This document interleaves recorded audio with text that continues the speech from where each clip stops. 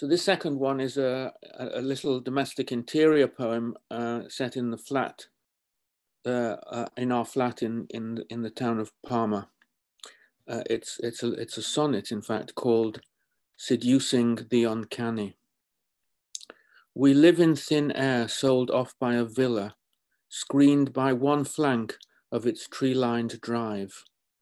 Up on the fourth floor, where birds would soar and dive, see Poplar leaves quiver when the branches are still. Beyond them, suggestions of windows, a doorway, with lamp lit above it in the gloaming we see. Then yellow, a risen August moon gone astray, startles complete above surrounding greenery.